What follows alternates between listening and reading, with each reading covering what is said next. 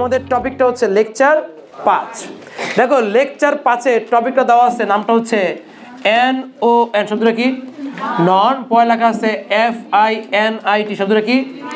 এখন এটা অনেকে উচ্চারণ করে ফিনিট অনেকে করে ফাইনাইট বাট আসল উচ্চারণটা হচ্ছে ফাইনাইট তাহলে নন ফাইনাইট পয়েন্টটা হচ্ছে কি ভাইয়া? ভার তাহলে আজকের আমরা যেটা পড়ব, সেটার নাম হচ্ছে কি ভার নন ফাইনাইট ভার আমরা একদম আস্তে ধীরে কোনো রকমের তাড়াহুড়ো না করে শিখব, ঠিক আছে ভাইয়া? দেখো টপিকের নামটা খেয়াল করো নন পরে লেখা ফাইনাইট পরে হচ্ছে ভাব যে কেউ এই টপিকটা যদি প্রথমভাবে দেখে, প্রথমবার দেখে, সে ভাববে এটা মনে কোনো ভার্বের টপিক কারণ শব্দের পরে লেখাই আছে একটা ভাব যেমন যদি বললাম লিঙ্কিং ভাব তোমার ধরে নাও ভার্বের টপিক পজিটিভ ভার কিসের টপিক ভার্বের টপিক তো সেভাবে তোমরা মনে করতে পারো যে ভাই নন ফাইনাইট ভার্বও তো তাহলে মনে হয় ভার্বেরই একটা টপিক কিন্তু না। ব্যাপারটা খেয়াল করো, তার নামের মধ্যে রসদ লুকে আছে। দেখো, এই ফাইনাইট মানে তুমি জানো না, ধরো বাদ দিয়ে দাও। ফাইনাইট মানে আমি জানি না। যারা জানে না, তাদেরকে বলে দিই সমাপিকা। পার তো জানা দরকার নাই। এখানে তো টপিক নাম কি লেখা আছে? ভার ভার্বের বাংলা কি ভাইয়া? ক্রিয়া। এইবার বাকি তো কোন শব্দটা? নন। এই ননের দেখো বাংলাটা কি? আমরা শব্দ বলি না ননসেন্স এই ননসেন্স মানে কি সেন্স আছে না সেন্স নাই? তাহলে নাই মানে নন মানে কি? নাই। যদি তুমি দুটো এখন একসাথে করো পরে তো কি হয়? ক্রিয়া নাই। অর্থাৎ টপিকটাই তোমার বলতেছে, ভাই, তুমি খুঁজেছো ক্রিয়া বাট এই টপিকে কোনো ক্রিয়া নাই। এটাই হচ্ছে টপিকের মূল নাম নন ভার অর্থাৎ এগুলা কোনো ভার্বই না। কেন দেখো? তুমি পৃথিবীতে যে কোনো একটা ভার্ব নাও, তোমার যেটা ইচ্ছা, আমি একটা নিই, সেটা হচ্ছে কি ভাইয়া? গো এটা একটা ভার্ব না ভাইয়া। তুমি পৃথিবীর যেই ভার্বটা ইচ্ছা, সেটা নাও। এবার যদি তুমি ওই ভার্বটার ঠিক আগে এই গো শব্দটার ঠিক আগে তুমি লিখে দাও একটা টি, ও শব্দটা কি ভাইয়া? টু। তাহলে আমি যে কোনোভাবে আগে কি লিখে দিলাম একটা? টু। অথবা তুমি যদি এই গো ভাবটার পরে এটা যুক্ত করো, আই, এন, জি, শব্দটা কি ভাইয়া? I, N, G. এই দুইটা শব্দ যোগে, অর্থাৎ টু আর পরে কি ভাইয়া? I, N, G. এখন দুটো শব্দ যোগ করেছি, আগে করছি টু, পরে করলাম আইএনজি এখন এই টপিকটার নাম হয়ে গেল নন ফাইনাইট ভার। অর্থাৎ গো কিন্তু একটা ভার। বাট যখন তুমি গো একটা টু লাগাই দিলা টু গো হয়ে গেল নন ফাইনাইট ভার। গো একটা ভার। বাট যখন আমি গোয়ের পাটা আইনজি যুক্ত করলাম গোয়িংটা হয়ে গেছে একটা নন ফাইনাইট ভার। তো দেখো পার্থক্যটা বুঝো। স্লিপ এটা হচ্ছে একটা ভার ভায়া। বাট যদি কেউ বলে টু স্লিপ নন ফাইনাইট ভার। অর্থাৎ একটু আগে ভাব ছিল, এখন আর ভার নাই। কিছু তো কারণে ভাব নাই, টু। আবার দেখো, এখানে বললাম হচ্ছে ভাই ওয়াক। ওয়াক একটা কি? ভাব যখন এই ভাবের আগে পরে কি লাগাই দিব?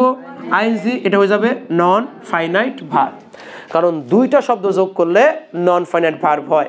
আগে টু, পরে হচ্ছে আই এন জি মনে থাকবে জিনিসটা ভাইয়া? তাহলে বলতো, এখানে কোথায় আছে নন ফাইনাইট ভার্ব আমি বললাম আই লাভ স্মোকিং বলো তো এখানে কোথায় আমাদের নন ফাইনাইট ভাবটা আছে? আছে? তাহলে দেখো নন ফাইনাইট ভার্ব এখানে বলছি টু ওয়াক ইজ গুড এখানে কোনটা non finite verb to walk কেমনে বুঝলা? টু দ্বারা। তাহলে এবার তোমার সবাই বুঝতে পারতেছো যে কেন একটা নন ফাইনাইট ভার্ব হয়? পৃথিবীর যে কোনো ভাবের আগে একটা টু লাগাই, অথবা যে ভার্বের পরে আইনজি লাগাই সেটা কি হয়ে যাচ্ছে? ফাইনাইট ভার্ব এত বোঝা গেছে? এবার শোনো, যখন আমার শিখি এরকম যে ভাইয়া, তোমার আর্টিকেল কয় রকমের হয়? উত্তর কি দাও? তিন রকমের এ এন দেই। ঠিক তেমনই তোমাকে যদি কেউ প্রশ্ন করে ভাইয়া যে নন ফাইনাইট ভার্ব এটা ভাইয়া কয় রকমের হয়? তো এটা টোটো হচ্ছে কয় রকমের? তিন রকমের। তাহলে নন ফাইনাইট ভার্ব কয় রকমের হচ্ছে ভাইয়া? তিন রকমের হচ্ছে।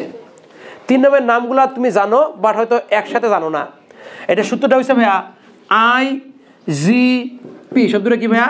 আই জি পি এই তিন রকমের নাম হচ্ছে আই জি পি আইজিপি হচ্ছে পুলিশের একটা post.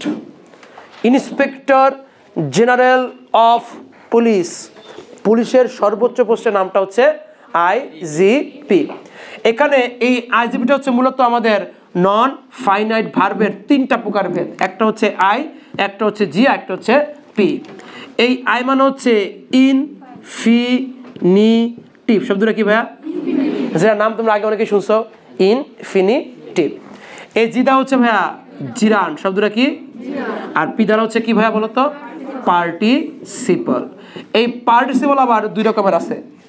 একটা হচ্ছে প্রেজেন্ট পার্টিসিপল আর একটা হচ্ছে পাস্ট পার্টিসিপল তাহলে ভাইয়া পার্টিসিপল কয় রকমের হয়? দুই রকমের।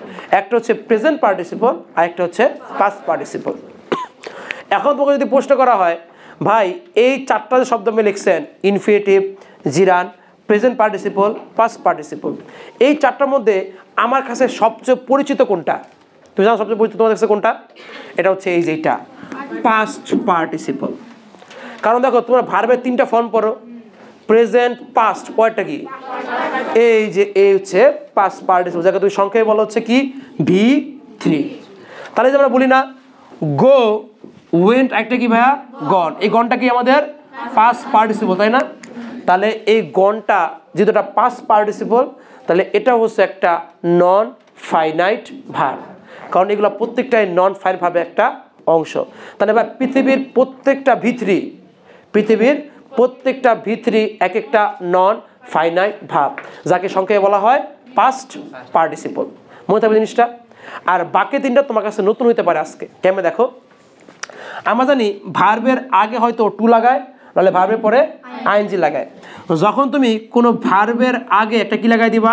টু লাগাই দিবা, তখন এটার নামটা পড়ে যায় হচ্ছে ইনফিনিটি তাহলে এই যে একটা রূপটা দেখলাম টু লাগাইলে নামটা কি হয়? এটা নন ফাইনাল ভার্ব হয় এবং সেটাকে কি নন ফাইনাল ভার্ব বলা হয়? ইনফিনিটিভ তাহলে টু দেখলেই উত্তর কি দিবা? ইনফিনিটিভ ঠিক আছে ভাইয়া? আচ্ছা এরপরে কি লেখা আছে? জিরান দেখো জিরানটা দেখতে হচ্ছে প্রথমে একটা ভার্ব বসবে, পরে বুঝবে ভাবের সাথে একটা আই, এন, জি। তাহলে ভাই আইএনজি থাকলে সেটা কি হয়? জিরান আর টু থাকলে ইনফিনিটিভ। আর এই প্রেজেন্ট পার্টিসিপলটা দেখো, খেয়াল করো, এটা হচ্ছে ভার্বের সাথে একটা আই, এন, জি। তাহলে এই ভার্বের সাথে আইনজি উত্তর কয়টা হয়? একটা হচ্ছে জিরান আর একটা হচ্ছে প্রেজেন্ট পার্টিসিপল। এখন তোমার লেখাটা বাদ দিয়ে একটু বুঝে নাও আসলে ভাই, সমস্যাটা কোথায়? সমস্যাটা হচ্ছে, তোমাকে যদি পরীক্ষায় বলা হয় যে ভাই, গণ কি? তুমি কিন্তু উত্তর দিবে এটা একটা ভিত্রি অর্থাৎ হয়ে গেল পাস পার্টিসিপল কাউরই কোনো ডাউট হবে না। যখন তোমাকে আমি বলব, ভাই বলো তো টু গো, তুমি উত্তর কী দিবা? ইনফিনিটিভ কারণ আগে টু দেখলে উত্তর কি হয়? ইনফিনিটিভ হয়। এটা তোমাদের কোনো ডাউট হবে না। বা ডাউটটা তখন হবে, যখন আমি লিখে দিব শুধু গোয়িং কারণ গোয়িং এর পরে কি আছে? আইএনজি। আর আইএনজি থাকলে কয়টা উত্তর হয়? দুইটা। হয়তো হয় জিরান, না হলে হয় প্রেজেন্ট পার্টিসিপল। এর জন্য পরীক্ষায় প্রথম কোশ্চেন এটা দিবে, তোমাকে একটা আইএনজি দিয়ে বলবে, আগে এটা বল, এটা কি জিরান, নাকি এটা প্রেজেন্ট পার্টিসিপল? তা ধরতে পারছ সমস্যাটা কোথায়? অর্থাৎ আমরা দুইটা আইএনজি জানি, বাট দুইটা আইএনজির মধ্যে কোনটা জিরান আর কোনটা হচ্ছে প্রেজেন্ট পার্টিসিপল, সেটা আমরা ধরতে পারি না। তো এখন দেখো, কেমন তুমি পরীক্ষা হলে ধরবা যে কোনটা হচ্ছে জিরান আর কোনটা হচ্ছে প্রেজেন্ট পার্টিসিপল। দেখো কেমনি কি ভাইয়া। তোমার সামনে একটা এক্সাম্পল আমি লিখি। এক্সাম্পলটা হচ্ছে এরকম যে রিডিং রুম কি রুম ভাইয়া?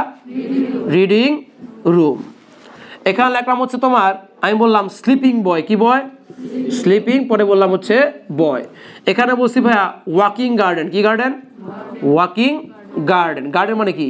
বাগান। আর এখানে বললাম ক্রাইং বেবি কি বেবি ক্রাইং বেবি এটা মানে কি? ক্রন্দনত শিশু। এখন দেখো তোমার প্রত্যেকটা পরে আইনজি আছে না? তাহলে আইনজি থাকলে নাম কয়টা হয়? দুইটা। হয়তো জিরান না হলে প্রেজেন্ট পার্টিসিপল এখন দেখো কেমন ধরে? খুব ইজিলি প্রথমে দেখো তুমি কি করবা? যেই আইনজিটা আছে, তার পরের শব্দটা আছে না রুম তুমি এটাকে আগে নিয়ে আসবা। কোথায় নিয়ে আসবা? আগে। তাহলে পরটা ধৈরা কোথায় নিয়ে আসলাম? আগে। তাহলে হয়ে গেল কি ভাইয়া?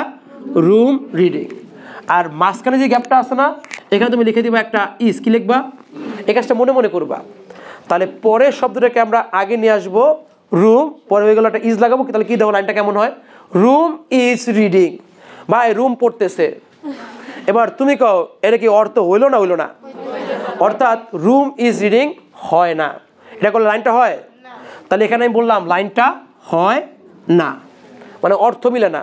কারণ রুম কখনোই পড়তে পারে না, তাই না? অর্থাৎ এটা হয়ে গেল একটা গাঁজাখড়ি কথাবার্তা। গাঁজাখড়ি না, যে ভাই রুম কেমনে আবার পড়ে? রুম তো পড়তে পারে না। এবার দুই নম্বরে যাও। দেখা আছে স্লিপিং বয় বয়টাকে নিয়ে আসো। তাহলে ভাই বয় ইজ স্লিপিং ভাই, এটা কি মিলে? বাচ্চাটি বা ছেলেটি ঘুমাচ্ছে। তাই এটাকে মিলছে? তাহলে এইটা পারফেক্ট কথাবার্তা হইছে। কারণ একদম সুন্দর মতো মিলে গেছে। তাহলে এটা হইল গাঞ্জাখুরি, এটা হইল পারফেক্ট এবার দেখো পরেরটায় ওয়াকিং কি ভাইয়া? গার্ডেন গার্ডেন পাইছো না? গানটা আগে নিয়ে আসো। তাহলে গার্ডেন ইজ ওয়াকিং ভাই, বাগানটি হাঁটছে। বাগান দৌড়াইবে একটু পরে। কারণ তুমি তো অশিক্ষিত হইবা তাহলে ভাইয়া গার্ডেন ইজ ওয়াকিং কি পারফেক্ট না গাঁজাখুরি? গাঁজাখুরি কথাবার্তা। আবার দেখো লাস্টেরটা ক্রাইং বেবি তাহলে কি হবে? বেবি ইজ ক্রাইং বাচ্চাটি কাঁদছে। এটাই ঠিক আছে? এটা পারফেক্ট তাহলে শিখো টিক্সটা কি ভাইয়া? টিক্সটা হচ্ছে, জিতে গাঞ্জাখোর, জিতে জিরান।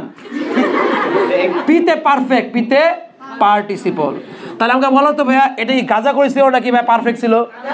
তাহলে এটা হচ্ছে ভাইয়া জিরান।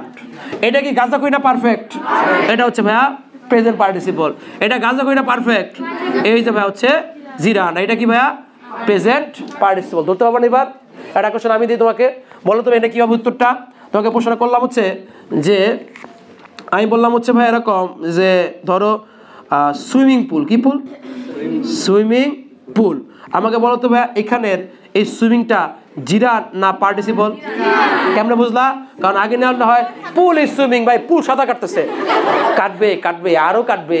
কারণ তুমি খেয়েছো তাহলে বুঝতে পারছ ভাইয়া? এখন দেখো, যদি আমি এই পড়াটা একটা বাচ্চারও পড়া দিই না সে কিন্তু পরীক্ষা হলে যা কইবে, আম দাম বল। তার আগে সুইমিং ভাই সুইমিং বলতে পারে না, এই শেষ। কারণ বাচ্চাকেও পড়া, তাই না? তো তোমাকে পরীক্ষায় কোশ্চেনটা এইটাই আসবে একটু খালি ঘুরে ক্যামে দেখো। তোমাকে বলবে এরকম তখন আমার গালি দিও না আবার? I love swimming I love কি ভাইয়া? এবার আর কিছুই দেয় না দেওয়া আছে কি একটা? ফুল স্টপ তাহলে ভাই তো তোমার ক্লাসে পারিয়েছিলাম পরের শব্দটা আগে নিয়ে ফাটাই ফেলবা। পরের শব্দটা কি দেওয়া আছে আর কিছু? তো তুমি তো ওই আশা তো হয়ে যাবা যে শালায় পড়াইছিল একটা, কিন্তু আইসে আরেকটা, ইচ্ছা করে কামটা করছে, পাট পার। তখন কি তোমার বাগে পাবা? খুঁজা পাবা? না, তখন তো তুমি কি করবা? এখন ট্রিক্স তো সেম ট্রিক্সটা কি ছিল? পরের শব্দটা আগে নিব বাট পরে কোনো শব্দ আছে আর? তা দেখো কাজটা গিয়ে যে ফুল স্টপ এটি আগে নিল। ফুল স্টপ ইজ সুইমিং এবার ক full stop is swimming is হয় তাহলে গাজা করি, এটা কি তাইলে? জিরা মানে যাই পাবা, তাই লইবা। এখন যদি কোশ্চেন এমন আসে, দেখো তো তোকে বলল সে প্লেইং ইজ গুড খেলা ভালো। তাহলে নাইন জি আছে না? তো ফুল স্টপও নাই। তাহলে পরে কি আছে? ইজ ধরে নিয়ে আসো। ইজ ইজ দুটো ইজ লাগবে না? মাঝখানে ইজ লাগাতে হবে না? ইজ ইজ প্লেইং কি হলো গাজা করি। এটা হয়ে গেল জিরান অর্থাৎ পরে যা পাবা তার ঠ্যাঙ্গে ধরে গেলো যাই পাও। কথা বোঝা গেছে ভাইয়া?